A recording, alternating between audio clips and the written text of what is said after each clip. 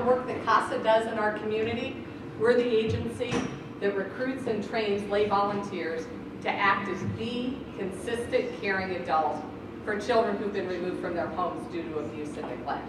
I'm sure you've all seen the stories on the news. This is a problem in our community that is growing exponentially and faster than it is anywhere else in the country. The children that our agency represents all live in Jackson County, in the urban core or in eastern Jack. They come to us because their parents or their caregivers were unable to care for them safely. That means our children come to us because they've been sexually abused, because they've been beaten, because they've been burnt, because they've been locked in closets, because they've been left outside without shoes and clothes. You all see the stories. You know exactly what I'm talking about.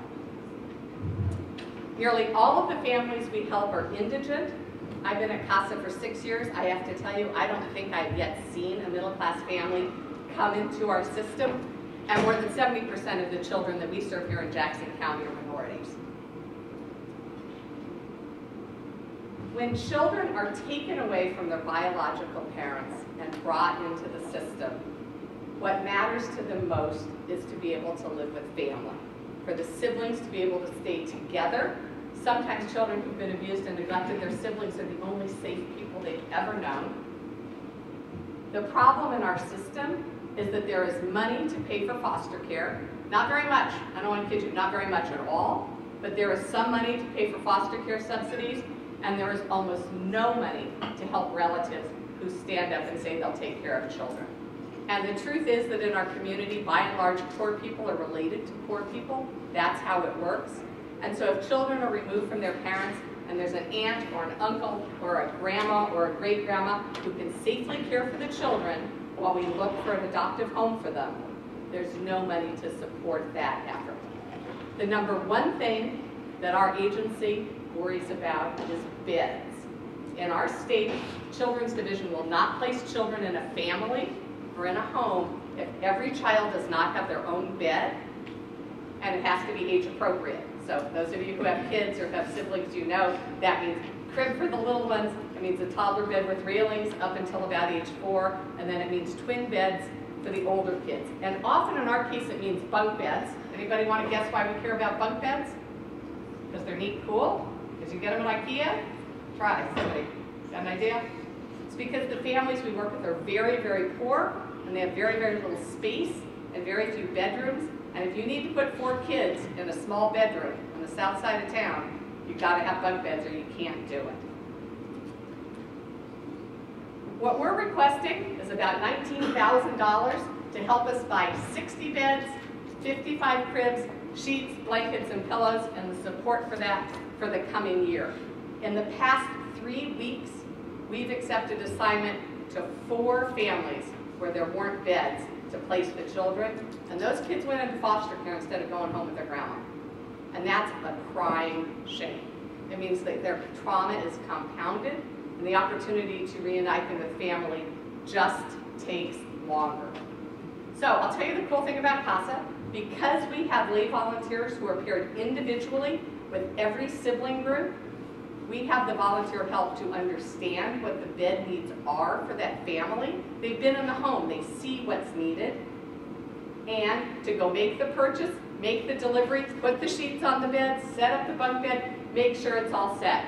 We're the only agency that I know of that has dedicated volunteers for every single family to get that work done. What we don't have is the money to buy the beds, and that's why we're coming to you. So I'm going to answer in advance the number one question I know you guys are going to ask. You can tell me later if I guessed right. You all are going to ask me why we don't go to sleepyhead beds, aren't you? How many of you are thinking that? Yeah, some of you? Big agency in town, high profile, very interested in helping provide beds for low-income families for foster kids. We had six kids come into care two weeks ago, a family of six kids. They were removed from their home because of their mother's drug abuse. She was unable to properly parent them. There was serious uh, sexual abuse from one of her boyfriends. And we had a grandma and an aunt who were willing to take them. Grandma said she'd take the three little ones, aunt said she could take the older ones. They needed beds. We had to find beds within 24 hours or Children's Division was going to put those kids in foster care. That's how long we have. We call Sleepyhead Beds because they're the big provider in Kansas City. They've helped us so many times before. It was actually started by a former CASA volunteer. they have a thousand families on the wait list. They couldn't help us for six months. Those kids were gonna go into foster care in twenty-four hours if we didn't find beds. So, we don't have money to buy beds. We did the next best thing. We put it up on Facebook. We asked for help. We got donations for beds for the older kids. We got some Walmart gift cards. We got a mattress here, a bed frame there, and our volunteer drove all over town, put them together. We got the older kids situated. We didn't get the cribs for the younger kids, and they went into foster. That's not a situation that's tolerable, and you all can help us fix that. With your money and our volunteer time, we can be sure that every child who has a family member who can care for them is taken care of that way and doesn't have to go into our foster care system. Can I answer questions? Yeah, You're asking for 60 beds and 55 cribs. yeah, How'd you come up with that number, and then how much of our 19,000 would take care of that's a really good question. So um, about half the money will go directly for beds and cribs. Another quarter will go for the bedding, sheets, pillows, blankets. It turns out we figured out a while ago that you need those things. Um, and the rest of the money will go for staff support. Um, as the Gal Lazarus Ministries was just explaining, this stuff doesn't happen by magic. It actually takes real people. And I've asked my staff to work for free, but darned if they don't insist on eating. I haven't been able to talk them out of it. Um, we came up with that number because that's how many beds we were unable to take care of in 2015. So, um, next year, we expect our caseload to grow. CASA this year is actually gonna take care of one thousand fifty-six children in our community. That's only a third of the kids who've been brought into care due to abuse and neglect, and we're growing as fast as we can to meet that need. I expect to take twelve hundred kids next year. So we'll need, we'll need more than that next year, but there's still Facebook.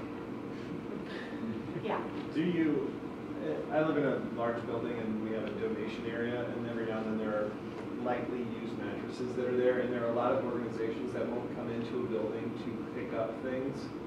Um, do you guys have the capability of coming in? call me, Okay, absolutely. So I will tell you, used mattresses are problematic depending what part of town they come from.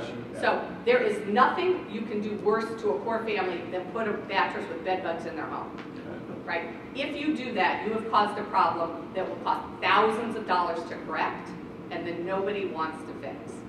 But if they come from a reputable place, and usually we can treat them, you know, if you know coming in. Um, oh, absolutely, if you have donations, call me.